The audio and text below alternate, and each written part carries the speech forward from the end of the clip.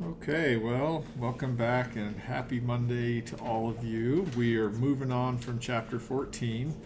Um, if you have questions or concerns about the computational assignment, uh, I've been trying to do it myself and I kind of got stuck on problem number 10. So if you get there and you're having trouble, stay tuned. I'll provide more details in a little bit.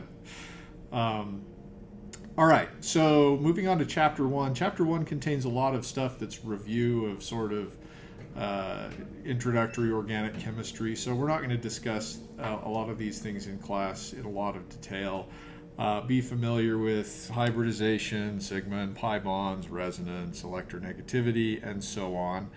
Uh, but we won't we won't talk about that uh, in a lot of detail. What I did want to do is just briefly contrast valence bond theory with what we're going to be doing with molecular orbital theory.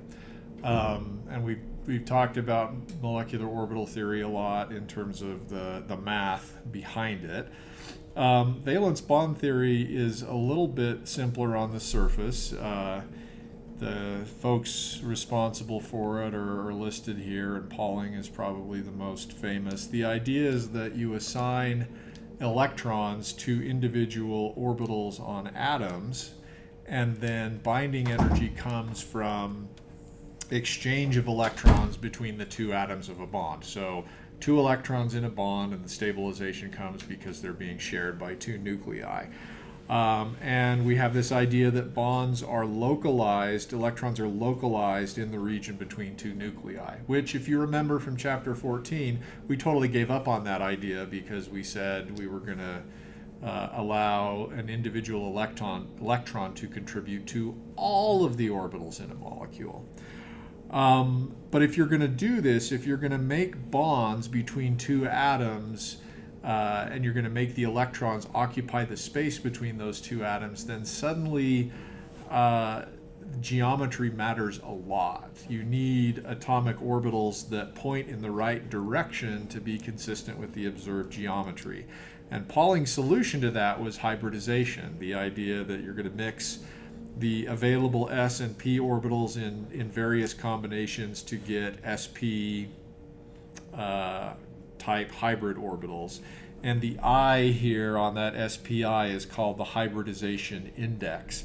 Now, one thing I learned when I first read this chapter, um, I didn't really know, and that is that uh, the familiar hybridization indices, SP, SP2, and SP3, is not all there is.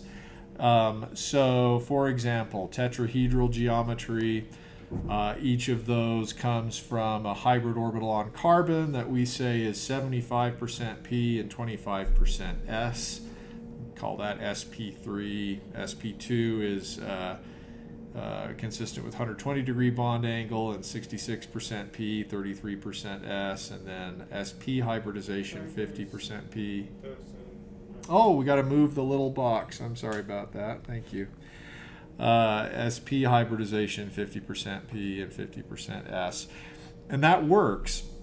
But it turns out these numbers don't have to be integers. There's no requirement for that. All those numbers mean is these numbers give you a sense for what percentage S versus P each orbital is. So, uh, in a broader sense, hybridization index, the no, we don't want a crash report for Adobe desktop services. Um, the hybridization index can be something else depending on what this bond angle is. And more broadly, it's defined as minus 1 over the cosine of the bond angle. The minus is because all of these bond angles presumably are greater than 90 degrees, so if you don't want a negative number. Anyway, uh, let's look at some molecules that have non-integral hybridization indices. So in ammonia, you can measure the bond angle. It's 107. And so uh, you can't account for that technically with just sp3 hybridization. Uh, so if you uh, put that bond angle into this equation, you end up with hybridization index of 3.4. That is, each of these bonds comes from 77% P and 23% S. And you can do the math based on the understanding that you had one p or one three p orbitals to start with and one s orbital to start with. You can do the math and conclude that the lone pair is in an sp 2.1 orbital. That's 32% s and 68% p. Contrast that with just methane where uh, if you considered, uh, sorry, uh, ammonia to be sp3 hybridized, that lone pair would be in a 75 25% s orbital. In ammonia, it's in 32% s. And that makes sense when you think about the fact that s orbitals uh, penetrate to the nucleus. So, unlike a p orbital, that has a node at the nucleus, right? The s orbital, if the nucleus is here, actually has uh, a non-zero wave function value at the nucleus, which means that electrons in s orbitals experience the nucleus more. They have a bigger uh, attraction to the nucleus than do electrons in p-type orbitals. So it makes sense that this lone pair would have a higher percent S because it's not being shared between two nuclei. So in order to stabilize it more, we're going to increase the S hybridization. Um, similarly, with water, the bond angle here is even tighter than 109.5. So though you've often thought in the past, perhaps, of water being roughly SP uh, 3 hybridized. Actually, if you do the bond angle, it's sp4 hybridized. Now, if you think of hybridization as just describing how many p orbitals you mix with the s orbital to get the new orbitals out, that's not going to make any sense because you don't have four p orbitals to mix in. But remember that index just comes from the bond angle.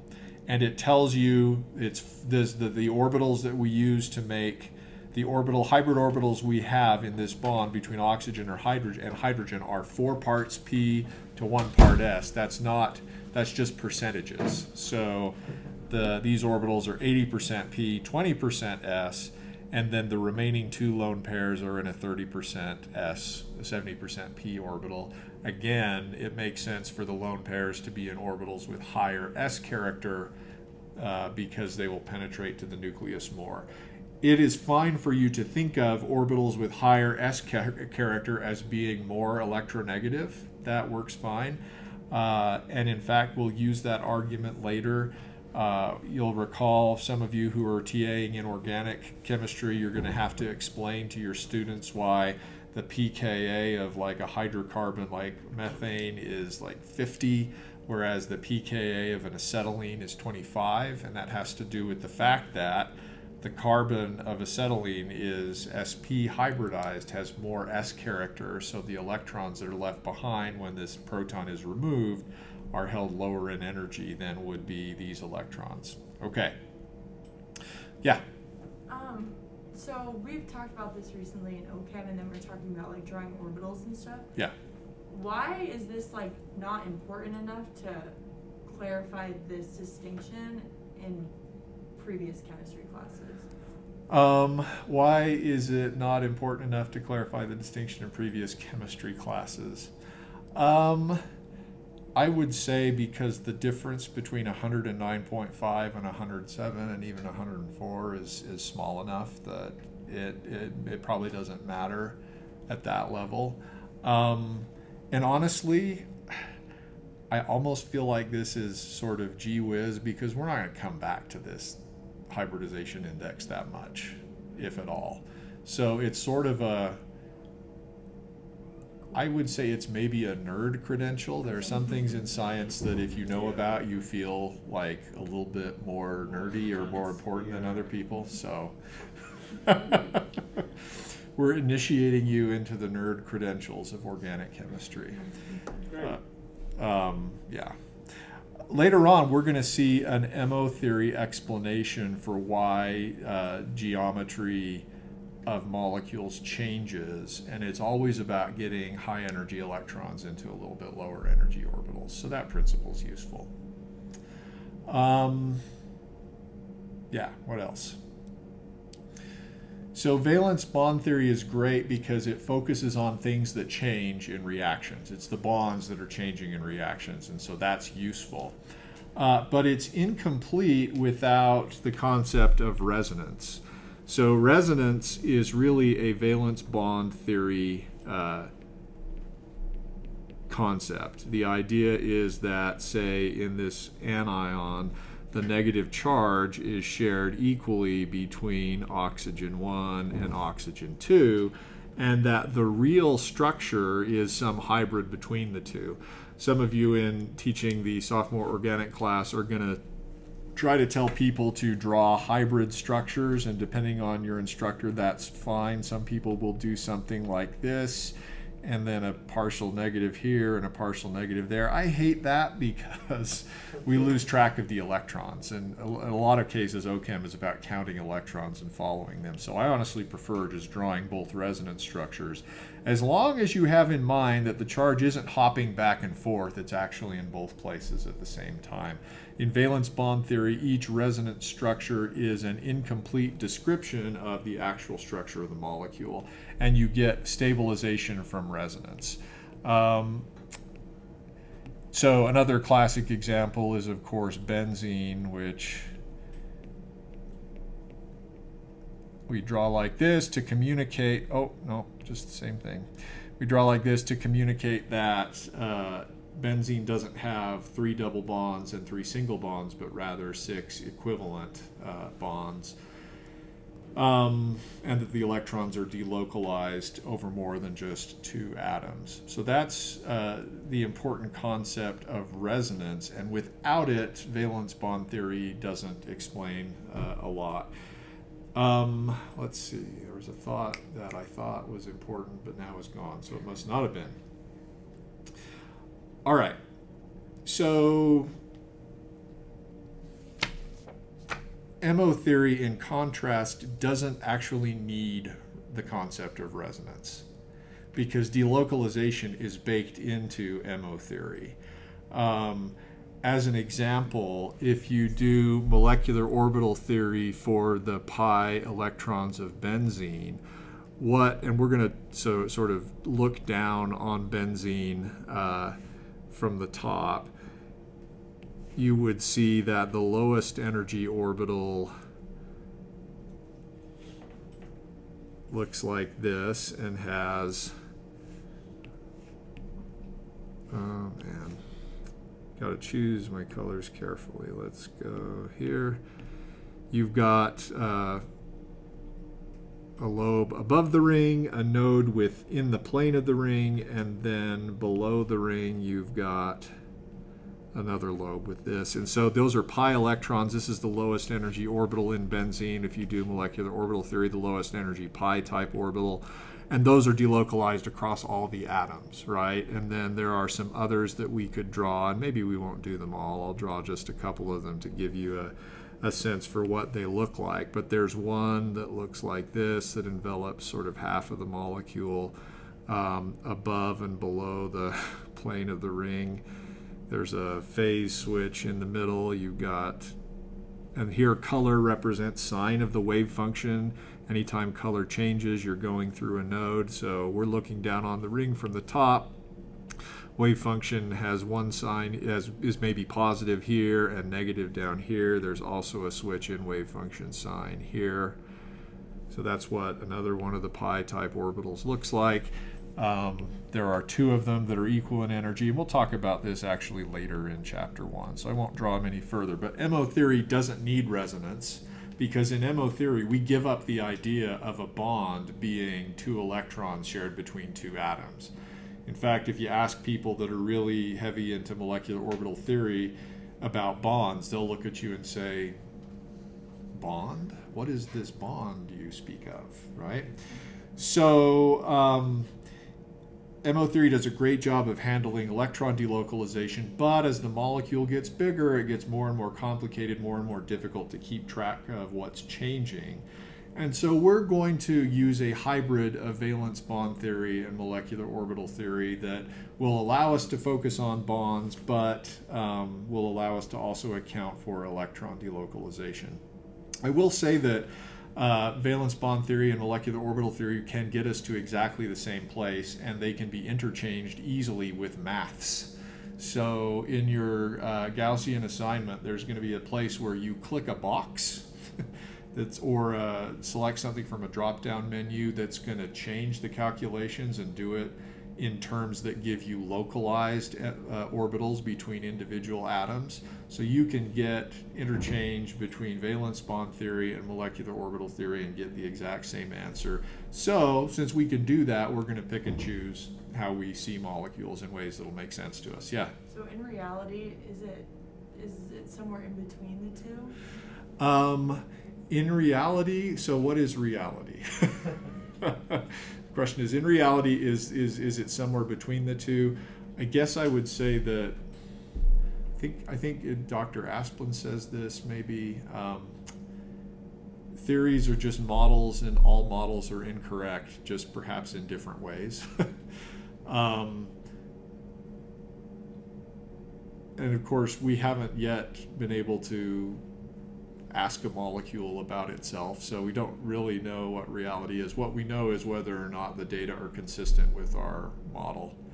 And for right now, I guess in the past I've been tempted to say, oh, well, valence bond theory is incomplete without molecular orbital theory. But actually, they're just two different theories that describe the same thing in different ways. And we will pick from both concepts to uh, explain what's going on with molecules. And our goal here is going to be to develop enough chemical intuition that we can make sensible predictions about organic molecules when we don't have a computer available. When you're just drawing things, can you make some sensible predictions? Um, yeah, what else? Sorry, Samantha, I think that was a totally unsatisfying answer No, to a good no, question. That makes sense. All right. What else?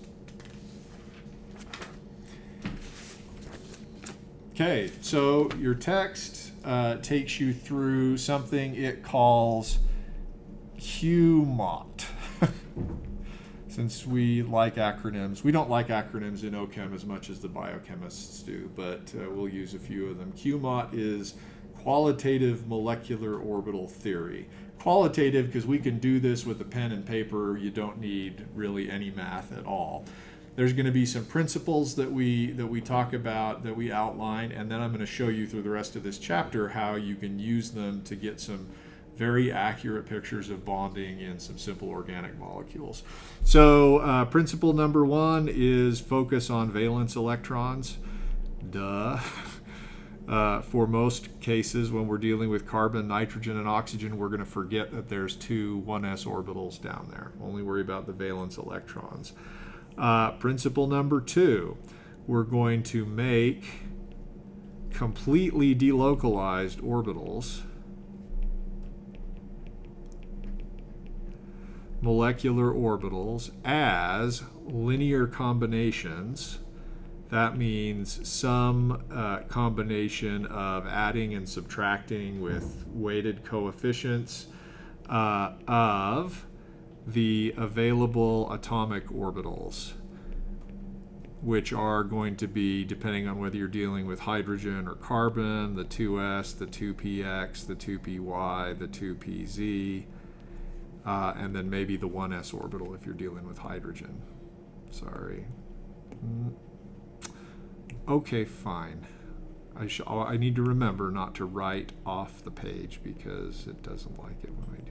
2py, 2pz. Okay, so you've got a, a starting alphabet of orbitals. We're going to combine those together to get molecular orbitals. Um, remember that 2p, y, and z are 90 degrees apart with respect to each other. That's That'll be important later. All right, so what do these MOs have to look like? Well, there's a symmetry requirement. They have to be either symmetric or anti-symmetric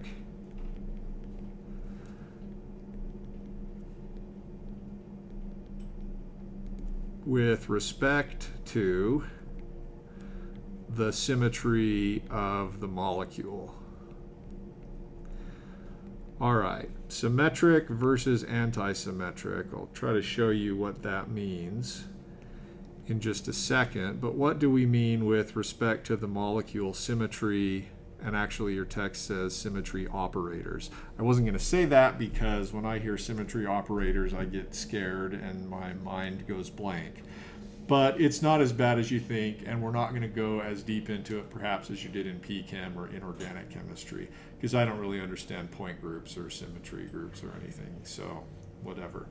Um, what are some symmetry operators? Well, one might be a rotational axis, right? So if we have this trigonal planar molecule with 120 degree bond angles, um, there's, and now I need to draw it on the side because it's hard to draw 3D in a 2D plane, but here you go. Imagine 120 degree bond angles we have an axis of symmetry where if we rotate around this axis by 120 degrees, we get the same thing. So this is actually called a C3 axis, right? Uh, all of these molecules also have C, this molecule also has a C2 axis. Uh, if you imagine rotating this molecule by 180 degrees, uh, you exchange the positions of these two hydrogens and you get the same thing. So those are two different symmetry operators. Another symmetry operator is a mirror plane. So this molecule also has a lot of these. Um, I'll just draw one of them, but you can find a lot more. Um, if we draw a mirror plane in the plane of the page, and this mirror plane would bisect would would be aligned with that particular bond. Hmm, what color am I going to choose? Doesn't matter. So here is your mirror plane, and base it lies in the plane of the page. So the hydrogen here would be in front, this would be in back. They are um, reflections of each other. Mirror symmetry is sometimes called sigma. Um, and there are a bunch more mirror planes, and you can find them. Uh, for those of you playing along at home and geeking out about point groups, this molecule would be in the D8, 3H uh, point group. Do I know what that means? Nope.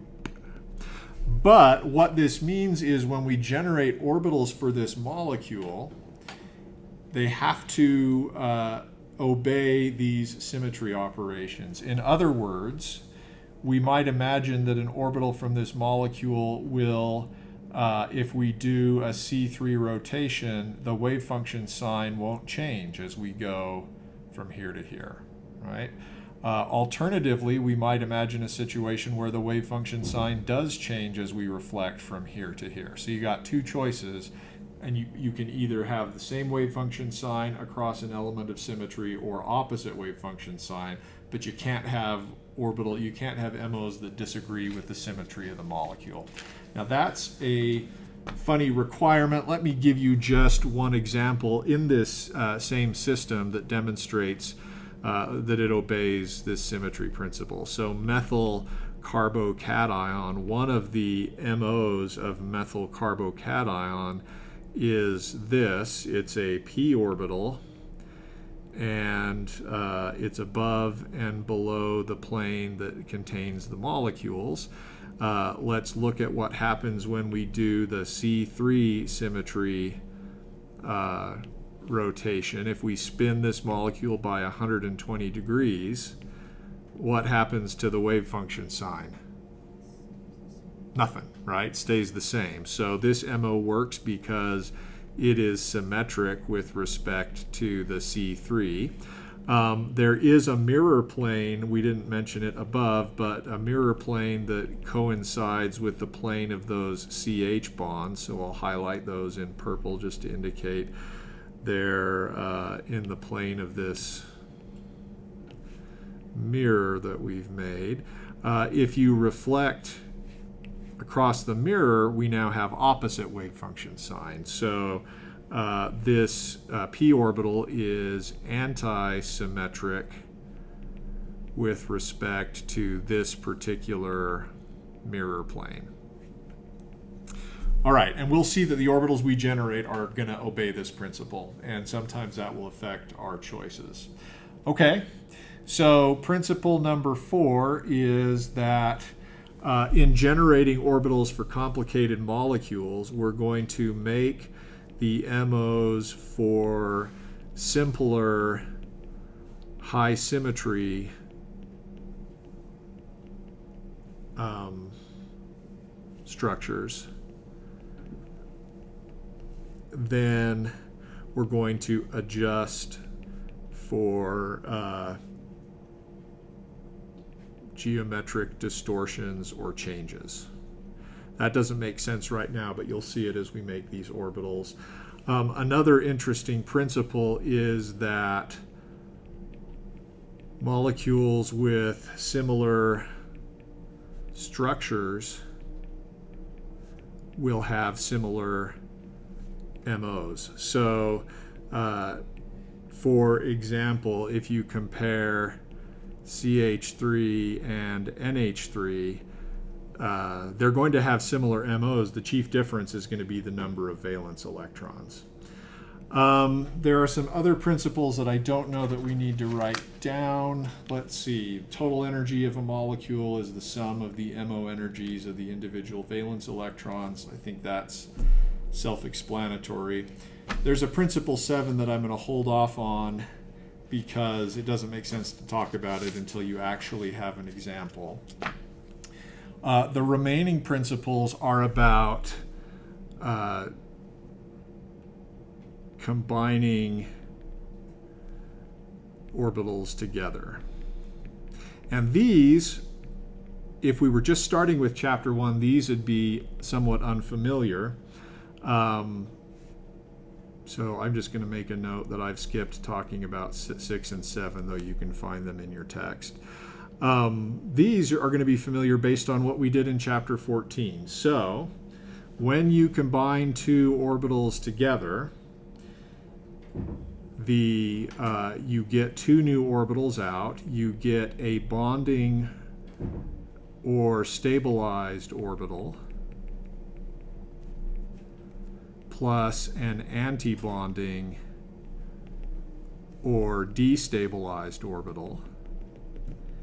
And the, uh, the destabilization you get, the antibonding orbital is more destabilized than the bonding orbital is stabilized.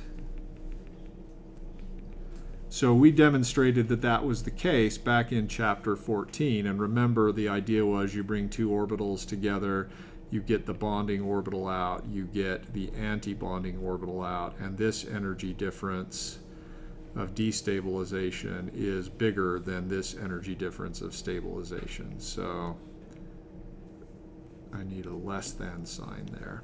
And remember, uh, that was because of the overlap integral, that S term that we talked about. That sounding familiar? Yeah. Sort of? Okay. Um, second, that when you mix two orbitals together and they're not in the same energy, so if we have two orbitals like this and we mix them together, the low the uh, bonding orbital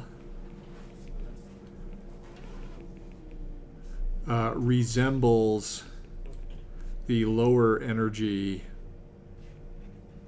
um, starting orbital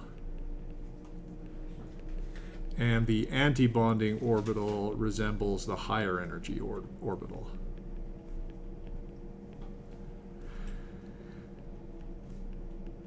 Uh, your text says it this way the lower energy orbital mixes the higher energy orbital into itself in a bonding way, whereas the higher energy orbital mixes the lower energy one onto itself in an anti-bonding way. Our classic example of this was, say, an oxygen p orbital and a carbon p orbital. And we remember we said that, oh, it's actually exactly the opposite, right? A carbon p orbital and an oxygen p orbital we said that the pi bond is uh, going to be mostly, uh, the pi orbital is going to be mostly on the oxygen, whereas the pi star is going to be mostly on the carbon. Okay? So that principle we already know. Um, we principle 10 is related to the energy gap between the two orbitals. The smaller that we're mixing together, the smaller the energy gap between the two orbitals, the greater the stabilization between the two orbitals. Um, and 11 is related if there is better overlap between two orbitals, we also get greater stabilization.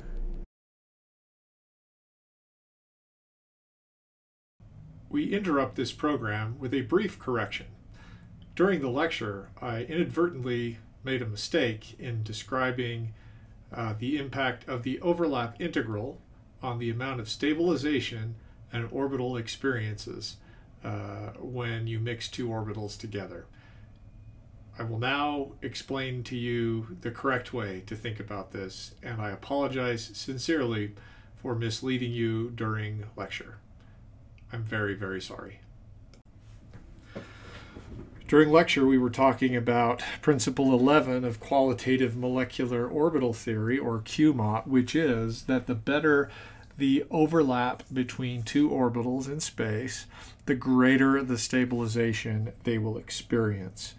Uh, a classic example of this is that two orbitals that overlap in end to end overlap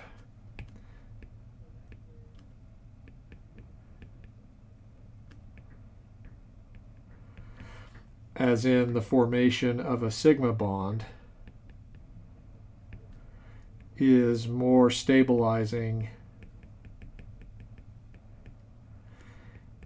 than side to side overlap. And we'll have occasion to revisit this principle a little bit later when we actually do uh, an example.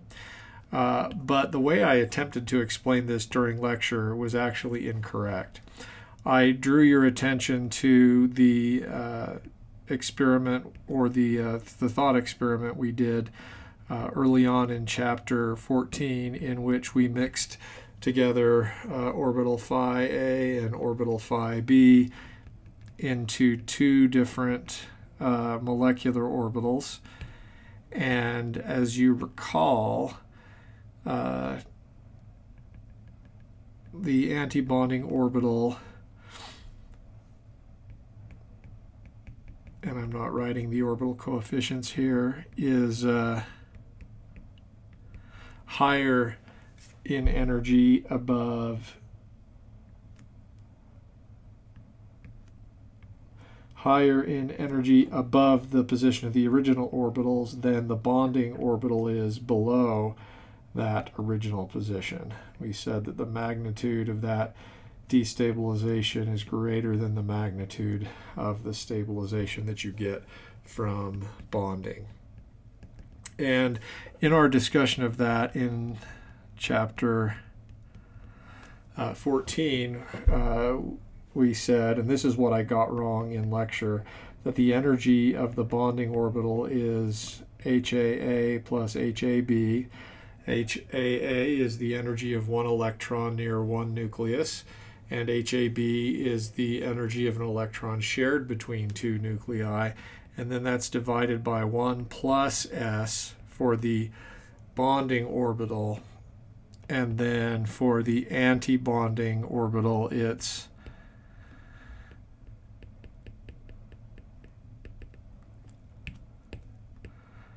uh, HAA minus HAB over 1 minus S. This is written correctly. uh, unfortunately, I do wrote it incorrectly in class. Uh, just to clarify, remember that HAA and HAB are both negative. Because having an electron shared between two nuclei and having an electron near one nuclei are both more more favorable than having an electron an infinite distance from the nuclei.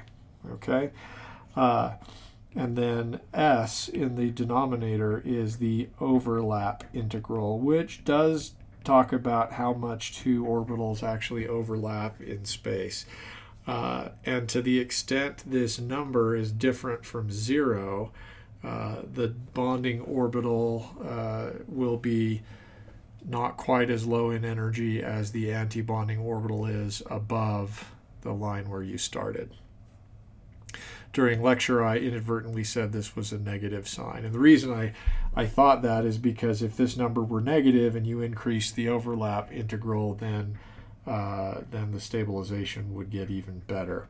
Uh, in truth, what this principle means, better overlap, greater stabilization, is that this HAB integral, the integral that Im- involves sharing an electron between two nuclei, that uh, integral depends on the extent of overlap, such that if we increase this overlap integral, uh, the extent of favorability in HAB is going to increase as well. I apologize for the confusion. I hope what I've said here clarifies that. Uh, don't worry if you're struggling with understanding this math and what we've talked about. My attempt here is to correct the wrong thing I said in lecture today.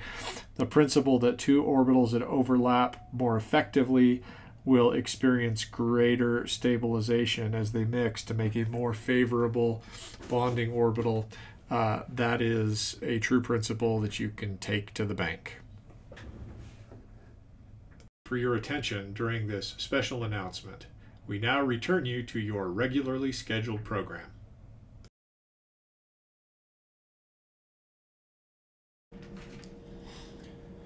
Okay, principle 12 is that I'm sorry, Jasper, before we move on, do you have what other does that sort of make sense or yeah, I'll, um, I'll probably check, um, check back from and attempt. Okay, Because, yeah, and if you have questions, uh, come come ask me. Yeah, because I think I'm confused. Okay. Um, principle 12 is that more electronegative elements, I struggle to write electronegative every single time, more electronegative elements have lower energy atomic orbitals, and that's why they're more electronegative. Because the electrons in them are held lower in energy. And then that's going to combine with what we talked about up here to generate this picture of, of bonding between uh, elements that have different electronegativities. That because oxygen's more electronegative, its p orbitals are lower in energy than those of carbon. So when we mix them together, the lower energy orbital is going to be more on oxygen and the higher energy orbital is going to be more on carbon. So electronegativity is a really useful principle. Um, and then I think I'm going to skip 13 and 14.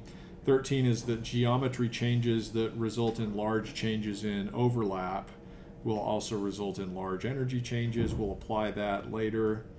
Uh, and then 14, I don't think is that particularly useful to us. So years ago, President Ezra Taft Benson gave a talk at BYU called 14 Fundamentals for Following the Prophet. These are your 14 fundamentals for generating molecular orbitals. Okay? Um, so, so follow these principles and don't go astray. Now, um, can I tell you, I got in trouble once uh, at church. So I've this was the last time I was ever asked to uh, lead the music in primary. Um, I uh, we were learning the song "Follow the Prophet," and of course, there's a verse about Jonah who gets swallowed by a whale, and so I couldn't resist telling the kids that maybe for that verse we should sing "Swallow the Prophet" because that's what the whale did. They thought it was funny, and they started singing that all the time. And the primary chorister was not amused. and her husband's the bishop. So I've never had the opportunity to lead the music in primary since then. So that has nothing to do with what we're talking about. But just be careful. Uh, be careful what you do and say in front of children. Um, all right, so let's start with a simple system. Uh, we're going to do this QMOT approach for CH3. And we're not even going to say whether this is CH3 cation, CH3 anion, or CH3 radical. But let's start with the assumption. Uh, we're going to assume a trigonal planar planar CH3. And this is beca because of one of the principles where of QMOT where we're going to start with high symmetry structures and then make adjustments if we need to. So the simplest and highest uh, highest symmetry structure for CH3 is going to be planar. Now it might help us in this discussion to establish a coordinate system. Uh, so I'm going to say that the up direction is x that the y direction is out here and that this direction is z. In doing so, I recognize that I may have run afoul of somebody's favorite coordinate system handedness conventions. I don't know whether this is right or left-handed. I also don't care. That's just what we're going to do, okay? Um, so we're going to imagine a trigonal planar CH3. We're going to have it um, lying in the xy plane. Uh, we're going to have as our alphabet of atomic orbitals three uh, 1s orbitals from our hydrogens, each of our hydrogens we're going to have one 2s orbital from carbon, and then we're going to have three 2p orbitals. They're each aligned along one of these axes, 2px, 2py, 2pz. That's why we've chosen this coordinate system so that you can see where each of the p orbitals will be. So now we get to make up combinations of these things, and our rules are only that they have to obey the symmetry properties.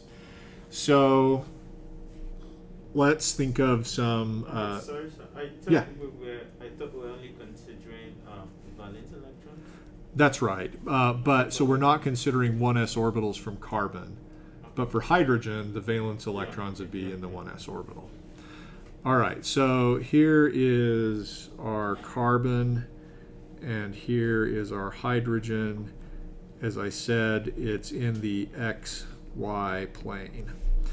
So the first thing we might consider doing would be to combine the 2s orbital on carbon with each of the 1s orbitals on hydrogen.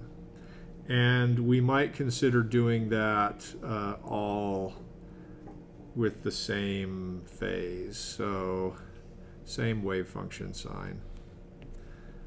I'm getting disoriented. Oops, same wave function sign, Joshua. I'm getting disoriented because last year I used pink and yellow, and this year I'm attempting to use blue and yellow for wave function sign. So, ooh. This one is uh, symmetric with respect to the C3 symmetry operator. You rotate 120 degrees, and you got the same thing. Does that make sense? When I draw it this way, I guess I should point out that this is more of a schematic that helps us keep track of what everything uh, of the atomic orbitals that we are combining to make this new molecular orbital. In reality, this would look like a delocalized cloud of electron density in the plane of those bonds all over the place. Okay.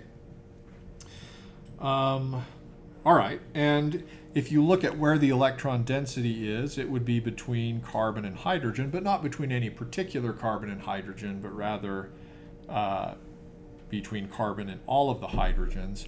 So this would be a CH bonding type orbital, and it involves side to side overlap of, no, I'm sorry, it involves sort of uh, end on end overlap along axes between atoms. So this is a sigma type uh, bonding orbital. And yeah, and we'd say it's mostly carbon hydrogen bonding. Now, if we use the same um, set of components but combine them with a, a change in wave function sign,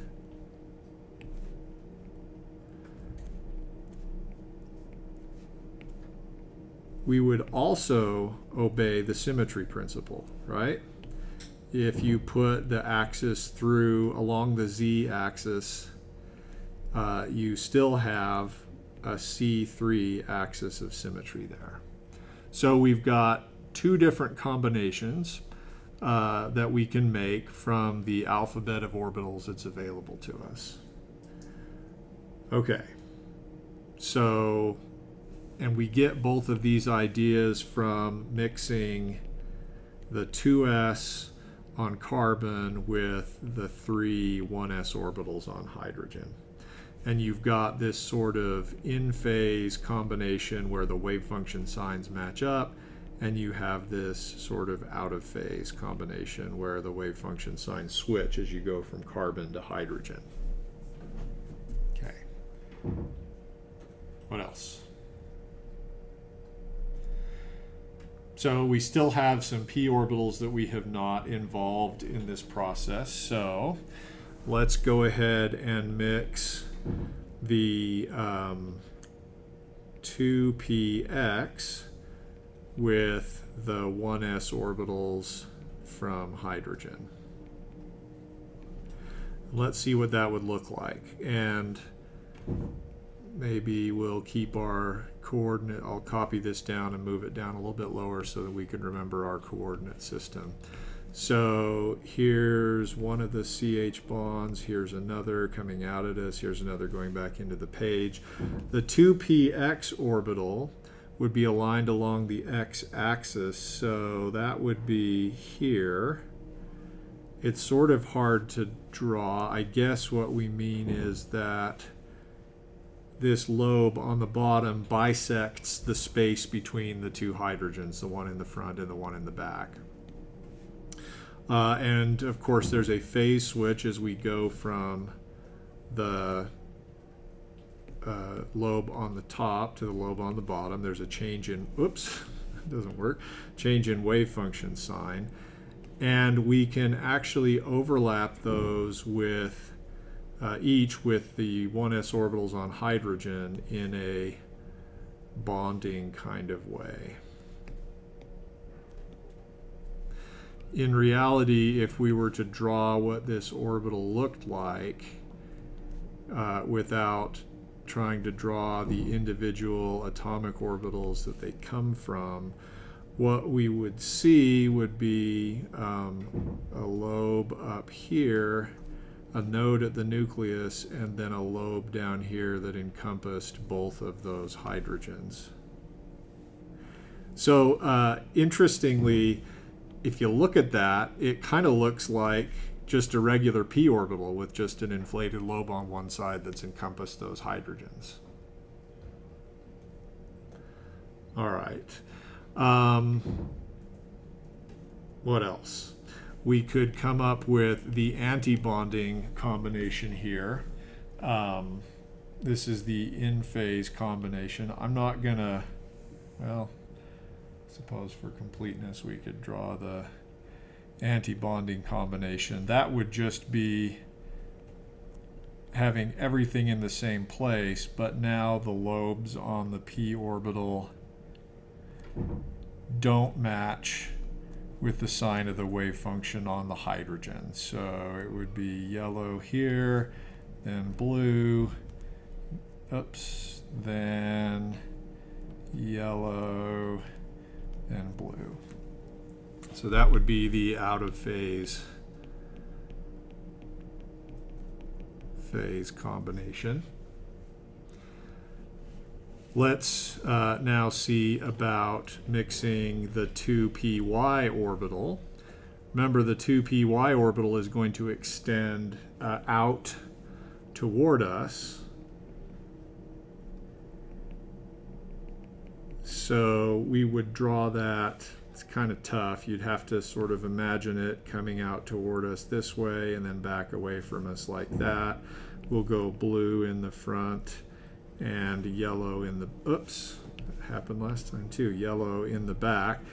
Um, we can overlap that with a blue 1s on hydrogen in the front and a yellow 1s on hydrogen in the back.